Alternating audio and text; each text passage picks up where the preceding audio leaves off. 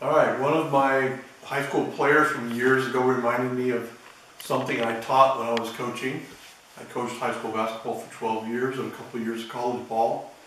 And that's the triple threat. So here I am, 62 years old, retiring from work, long retired from coaching, but here's what the triple threat's all about, folks. Catch the ball, make a reverse pivot, face the basket, and you're ready to shoot, pass, or dribble drive.